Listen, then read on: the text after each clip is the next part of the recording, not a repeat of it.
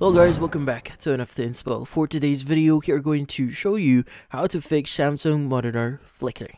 So, if you're interested, let's get started. So if you're having problems with your Samsung monitor and it's flickering, well in this case, there are going to be a few things that you can try here to probably solve this issue.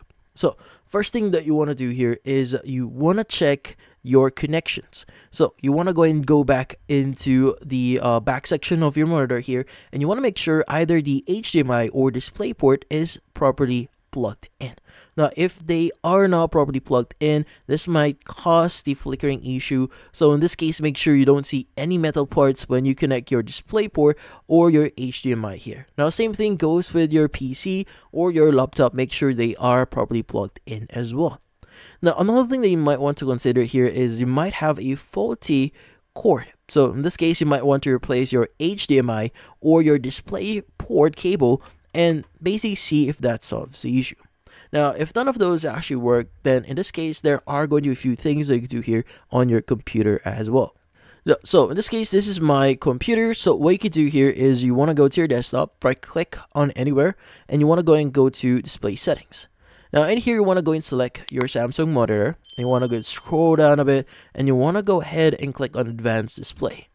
Now, in here, I would recommend you to go ahead and go to refresh rate and change your refresh rate. Now, if you have a, uh, this case, a better refresh rate here, you want to go ahead and select that. So, for example, if you're getting like, for example, 170 hertz or 120 hertz, go ahead and uh, select that and see if that solves the issue. Also, another thing that you could do here is you might want to change your resolution. Now, sometimes changing to the recommended resolution can actually help with your issue here. Now, another thing that you can do is you might want to make sure that the GPU that you're using right now is up to date. Now, depending on what you're using, NVIDIA, AMD, or Intel, uh, their the steps itself might be different. But if you're using NVIDIA, you just need to download the NVIDIA app here, or you want to go ahead and open it up. You want to go to drivers, and from here, you want to go ahead and click on install. If there are any available updates for your GPU. But basically here, just update your GPU and see if that solves the issue. In this case, that's about it. So hopefully this video was able to help you. Like and subscribe to NFT Inspo. Thank you for watching.